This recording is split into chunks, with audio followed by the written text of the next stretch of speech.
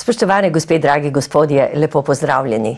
Tudi danes se bomo pogovarjali o programu Svit. Seveda smo se že veliko krat, ampak ker Svit rešuje življenja, je še kako pomembno osveščanje.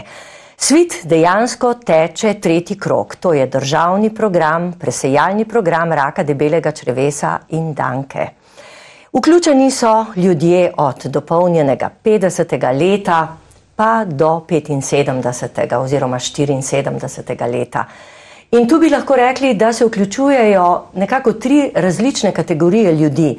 To se pravi tisti, ki pridejo na novo, ki so pač dopolnili svoj 50. rojstni dan, potem določena skupina, ki dobiva seveda vsake dve leti, pa se morda niti ne odzivajo, ker se jim zdi nesmiselno, saj so vendar zdravi, in tisti, ki dejansko v program svit ne pristopijo iz kakršnega koli razloga že. In ravno zaradi teh je še kako pomembno povedati bistvene stvari, zaradi katerih še vedno znova trdimo in dokazujemo, da svit rešuje življenja. Z nami v studiu je gospa Jožica Mavčet Zakotnik, doktorica medicine, specialistka družinske medicine, vodja programa Svit. Dobr dan. Lepo zdrav. Doktor Zakotnikova, pogledajte, omenila sem, da so tri kategorije in v bistvu prvi dve, ki se odzivata tako ali drugače, najbrž nista za program svit neka izguba oziroma sta pravzaprav dobrobit, dobrobit tudi vsej naši družbi. Ampak tisti tretji, ki rečejo, ah, zakaj bi se vključeval, no vse zadnje, ali sem zdrav, ali nimam časa, ali pa ima še kakšen drug razlog. To je pa pravzaprav to, kar na dolgi rok je neka velika škoda za te ljudi, posamezne, za njihove družine, ne nazadnje za družbo kot celoto.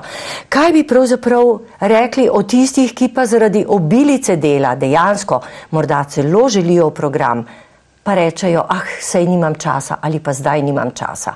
Ampak čas pa teče in ura tik taka, vsaj za določeno število. Res je, eh, še vedno je preveliko ljudi, eh, nekako 40% tistih, ki najdejo izgovore, da se ne vključijo v program Svit ali ne najdejo neke eh, dobrobiti programa, ki bi jih res motivirala, da storijo pomembne korake. Ja, nimam časa ali prikrit strah pred odkritjem raka ali pravzaprav, vse to se mene ne tiče, ker sem zdrav. Ta čas, ki je potreben za program Svit, je res tisti eh, dragocen čas, ki, potrebno, ki si ga je potrebno vzeti in ni dejansko tako zaskrbljujoč, da bi nekdo ne tega naredil. Eh, mi dobimo pravzaprav prvič v v program Svit, tako rekoč za rojstni dan. Tisti mesec, ko smo stari 50 let, mi dobimo prvič v program Svit in seveda potem do dopolnjenega 74. leta in dejansko zdaj teče tako rekoč že četrti krok. Veliko osveščanja, ampak še vedno preveč izgovorov ali pa premalo motiva pri tistih 40%, ki iščejo take ali drugačne razloge, da se v program Svit ne vključijo. No, in pogovarjala sem se kar precej s svetovalcem na klicnem centru, z gospodom uh, Urošem uh, Rozmanom in na čisto konkretno vprašanje, ne marsikaj mi je povedal, razložil, kako to deluje, kako pravzaprav oni to doživljajo, ker so dejansko v stiku z ljudmi in na čisto konkretno vprašanje, ali meni, da ljudje v programu Svit ne sodelujejo zato, ker imajo premalo časa, mi je pa odgovoril tole, kar poglejmo si. Prej sem omenil, da so založili, eh, pozabili na vabilo in da niso prepisovali pomena preventivi. To so v bistvu posledice tega, da se osebe ne zavedajo, spravo ti naši neodzivniki, kakšno je dejansko breme raka na debelem črevesu in danki. Tukaj pa potrebno posebno pozornost, da nekateri se tega le zavedajo in imajo kakšne druge zadržke. Recimo, da bi jim odkrili raka, kot sem prej omenil, da so premalo zaupljivi vase, menijo, da mogoče ne bodo mogli izpeljati vseh postopkov, ki jih od njih program svit zahteva, ali se ne bodo znali soočiti z boleznijo raka, če ga bi slučajno odkrili. Vse to so zadržki. Tako da pomankanje časa ni glaven razlog, je pa samo posledica da se ne zavedajo določenih um, rekel, dejstev v raku debelega črvesa. Ja, ljudje se očitno še ne zavedajo dovolj, kako pomembno je odkriti raka takoj oziroma čim prej. In poglejmo si, kaj o tem meni onkologinja. Če se rak odkrije v stadiju, ko je omejen na črevo, zadošča samo operativni poseg. Tako za debelo črevo velja to kot za rak danke. Če pa je tumor že prebil črvesno steno ali pa so že prizadete regionalne bezgavke, potem sama operacija ne zadošča. Pri raku debelega črvesja je potrebna še dopolnilna kemoterapija, pri raku danke pa predoperativno še zraven obsevanje in kemoterapija. To se pravi, zdravljenje je veliko obsežnejše, veliko bolj mutilantno za bolnika, tudi z kasnimi zapleti lahko in kasnimi posledicami. Eh, seveda je od zdravljenja oziroma od stadija bolezni in posledičnega zdravljenja odvisna tudi prognoza. Če se rak odkrije, ko je omejen na črevo, je prognoza odlična, je okrog 90 odstotna. Čim je že regija prizadeta, pade prognoza za 30 do 40 odstotkov. Res je, dobrobiti programa Svit, kot smo slišali, so neizmerne ravno v tem zgodnjem odkrivanju. Poleg tega je pa program Svit tako prijazen program do tistih, ki jih je potrebno presejati, da je res uh, pomembno, da se odzovemo in nekako želimo z dobro organizacijo, z tem, da pridemo z različnimi postopki, ki jih je potrebno nasproti uporabniku, se pravi, da so postopki, koraki tako uh, podprti, tako z našimi svetovalci iz klicnega centra, tako za vso logistiko, ko dejansko ljudje dobivajo um, vabila, testerje zelo hitro in tudi rezultate o izidih presejanja dobijo nekako v desetih dneh, tako da ni potrebno pravzaprav zelo skrbeti, kaj se dogaja, kaj je potrebno narediti. Tudi eh, zdravniki, družinski zdravniki podpirajo tiste, ki so povabljeni v program Svit, če se ne odzovejo, če imajo kakršnakoli vprašanja. Um, recimo, uh, informacijska točka v zdravstvenem domu, kjer eh, diplomirane medicinske sestre, ki so za to usposobljene, svetujejo tistim, ki imajo vprašanja. Uh, patronažna sestra gre na dom bolnika, tistega, ki ne more upraviti postopkov v, v programu Svit in ne potrebuje posebno pomoč.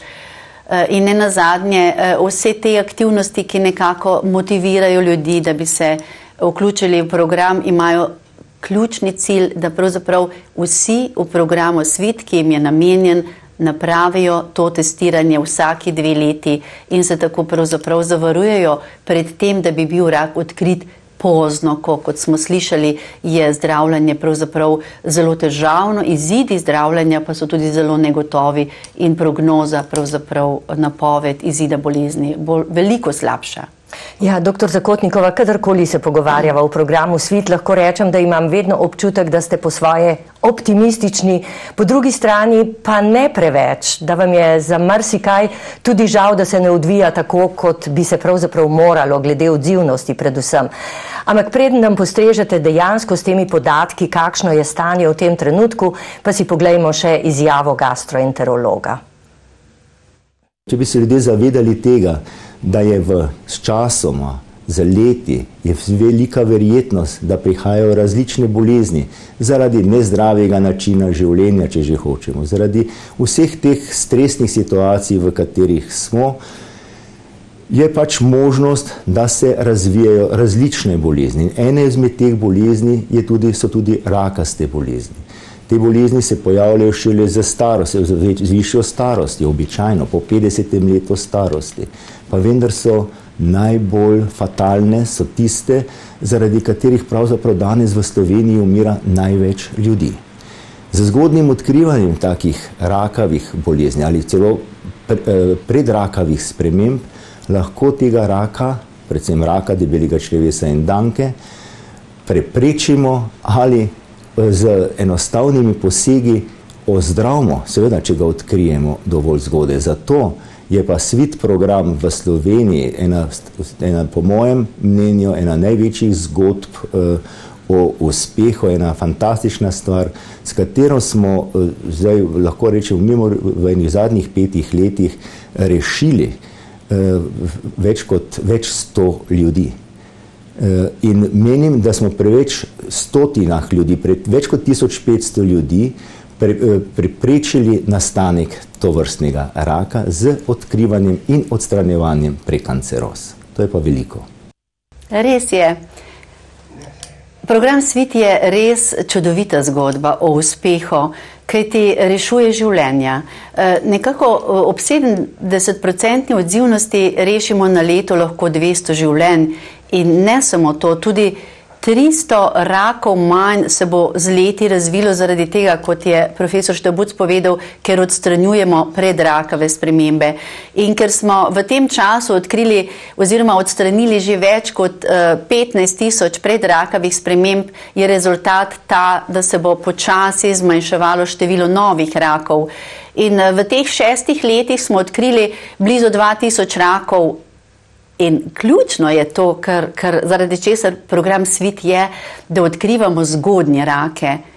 Odkrijemo več kot dve tretjini rakov, oziroma več kot 70% v tej zgodnji fazi, ko pravzaprav onkološko zdravljenje ni potrebno, ni potrebno kemoterapije, ni potrebno obsevanja, zgolj recimo samo odstranitev tega raka, tega polipa ali pa majhna operacija, ki odstrani ta omejeni rak. In eh, to je res. Naj ljudje vendar razumejo, da brez programa Svit imajo tako rekoč samo 10-14% možnosti, da bo rak zgodaj odkrit. Pri svitu pa, tudi če je rak odkrit, ker to je namen svita, rak se tako ali tako razvija, ampak ta rak je odkrit zgodaj, se ga da dobro pozdraviti, in ohraniti kakovost življenja, ne samo življenja, ampak tudi kakovost življenja. In, in to je ta neznanska dobrobit programa Svet in zato še vedno 40% ljudi, ki ne razume te dobrobiti za njihovo zdravje, za njihovo življenje, je pravzaprav tisto, ki nas in tudi mene osebno skrbi. Doktor Zakotnikova, ali je recimo mogoče, da se marsikdo ne odzove tudi zato, ker že morda ne razume pravilno ali se mu zdi pretežka ravno ta prva pristopna izjava, pravzaprav odgovor na povabilo v svet. Predlagam, da si mogoče malo to ogledamo in razčistimo, kaj dejansko se dogaja in kje nastajajo težave. Ja, eh, je možno, je res lahko, da nekateri pravzaprav ne razumejo dovolj postopkov. Eh, vendar smo v vseh teh letih pravzaprav poskušali eh, tako poenostaviti tudi te dopise in te pristopne izjave, ker prvo je pravzaprav prostovoljna izjava o sodelovanju, ki jo morajo ljudje izpolniti. Eh, in tukaj pravzaprav ne bi smelo biti veliko težav, ne, ko pravzaprav moram podati osebne podatke. Zelo pomembno je, da podamo svojo, svoj kontakt, telefon, eh, morda tudi, če smo se preselili, da eh, navedemo, kam nas pravzaprav komunicirajo sodelavci programa Svit. To je zelo pomembno, da imamo podatke o sebi na tej izjavi, pa tudi o osebnem zdravniku, ki skrbi za naše zdravje. Eh, se pravi, to je pomembno, da mi podamo svoje podatke. Potem nas pa zanima v programu Svit, a smo ljudje, a smo tisti, ki je program Svit prav za nas namenjen, ali smo recimo že v nekem postopku obravnave, zdravljenja za določene bolezni, kjer pravzaprav imamo bolj natančne metode, to je kolonoskopija, ki spremlja te bolezni. In tukaj se pravi na drugi strani, ko uh, osebe, ki so v program Svit povabljene, obrnejo to izjavo o sodelovanju, jih sprašujemo o tem, a so v zadnjih letih upravili kolonoskopijo, se pravi to preiskavo, kjer z lučko pogledamo v črevesje in ali so kaj odkrili. In seveda, kaj je pomembno, če ima oseba že kronično vnetno črevesno bolezen, temo, to so ulcerozni kolitis, kronova bolezen, tisti, ki, to ma, ki imajo to bolezen, že vejo, kaj to je, če pa ne vejo, pa verjetno tega nimajo. Če mogoče so že zboleli za rakom debelega črevesa ali če so jim v programu eh, oziroma s kolonoskopijo odkrili polipe, ki so jih tudi že odstranili, potem take osebe niso primerne za program Svit in temu rečemo izključitveni kriteriji. Ne? Ampak kljub temu jih prosimo, tiste, ki sodijo v to skupino, da to označijo in izjavo vrnejo v program Svit. Tako bomo mi vedeli, da oni niso neodzivniki, ampak da so v skupini, ki ima bolj natančno spremljanje zaradi njihove osnovne bolezni. Zelo pomembno je tudi, da Če je pa bila ta kolonoskopija normalna, da ljudje označijo, kdaj so to kolonoskopijo imeli, kajti če je bila normalna, bomo to osebo še naprej spremljali v programu SWIT. In če so imeli v zadnjih treh letih, potem bomo to osebo povabili v program SWIT na testiranje čez dve leti. Zato je res pomembno, da tisti, ki so kolonoskopijo imeli, navedejo datum, kdaj so jo imeli. Poleg tega je pa zelo pomembno, da seveda mi se zavedamo, da prostovoljno sodelujemo v programu SWIT in da ti ljudje, ki v program SWIT um, pravzaprav vstopijo s svojim podpisom, potrdijo to svojo prostovoljno sodelovanje v programu SWIT in seveda datum, kdaj to uh, so izpolnili oziroma kdaj vrnejo. Potem, ko mi to izpolnimo, Seveda, to v kuverti, ki je že tudi priložena in frankirana, se pravi, da ima že eh, zraven znamko, da ni treba nič eh, plačevati, damo na pošto eh, in dobimo v enem tednu testerje. Se pravi, to je tisto urodje, s katerim mi pravzaprav ugotavljamo prikrito krvavitev v blatu. Ja, to se pravi, da vendarle prihaja do določenih težav pri izpolnjevanju, predvsem pa bi rekla, da je mogoče problem ravno v tem, da ljudje mislijo, da je svit pravzaprav zato, ker izpolnjujejo na drugi strani o kolonoskopiji, da se pravzaprav na nek način prijavljajo na kolonoskopijo. In mislim, da je zelo pomembno povdariti, da svit ni kolonoskopija, da se začne vse drugo prej, predno pride in da seveda um, Bi bilo pametno, če ljudje, ki so v dvomu, gredo tudi v zdravstveni dom, na svitovo kontaktno točko. No, in eno od takih izjav z te svitove kontaktne točke si zdaj le tudi pogledamo. Program SWIT je zelo pro, pomemben program in nikar ga ne zamenjate z pregledom na kolonoskopiji. Tukaj sem opazila, da ljudje najbolj strah tega, da morajo iti na kolonoskopijo. Iz tedna v teden pa tudi opažam, da ljudi najbolj pretresajo življenjske zgodbe ljudi, kateri so preboleli raka na debelem črevesu. Program Svice dejansko začne čisto preprosto. Ko pošljemo izjavo, potem dobimo iz programa Svit naprej odgovor in testerje. Pa si poglejmo še čisto na kratko, kako to poteka, kar od tam. Program Svit imamo zelo um, takšen preprost test, ki vzame zelo malo časa. Če malo razmislim, potrebujemo dva vzorčka, ki ga vzamejo v dveh različnih dneh in odzem vzorca ne bi smel trajati več kot pet minut. Se pravi, skupaj deset minut, kar je zelo malo za ceno zdravja, če smo odkriti.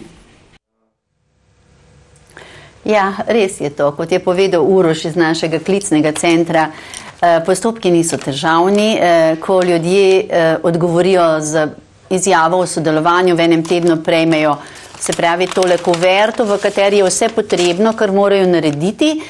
In tukaj uh, dobijo pravzaprav um, dva tulčka za odozem blata v dveh zaporednih dneh. To je pomembno. Tudi če večkrat na dan odvajamo, ne vzamemo obeh vzorcev blata isti dan, ampak v dveh zaporednih dneh. Um, pomembno je, da si seveda predhodno preberemo navodila, ki so v, skupaj z uh, to pošto prišli.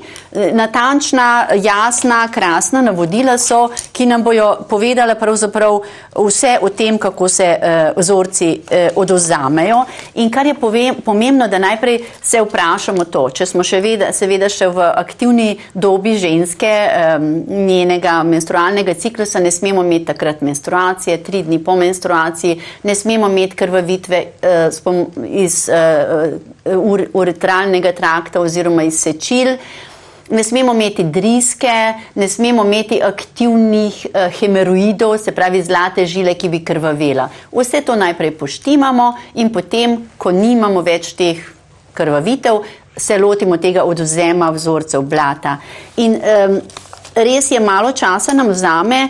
Tukaj imamo tudi pravzaprav dva taka razgradljiva papirja, eh, ki jih damo tako z tem eh, narisanim navzgor, vložimo v stranično školko, potem odvajamo blato in potem se odločimo, da vzamemo en tulec, vseeno je kateri, eden je uh, rjave barve, uh, drugi pa rdeči tulec. In pomembno je, da na to vrečko, ki vsebuje ime, priimek in rojstne podatke, napišemo, kdaj smo vzeli blato z rjavim tulcem, datum, in drugi dan, ko bomo recimo vzeli z rdečim tulcem, napišemo spet datum tistega dne odozema. Včasih ljudje kar vse napišajo na isti dan, to ni dobro, to je napaka. In tudi je napaka, če ne napišemo. Se pravi, teh datumov odozema, ker je pomembno, da oba vzorca blata odzamemo tekom tri dni, oziroma najkasneje četrti dan po prvem odozemu. To so zelo pomembni podatki.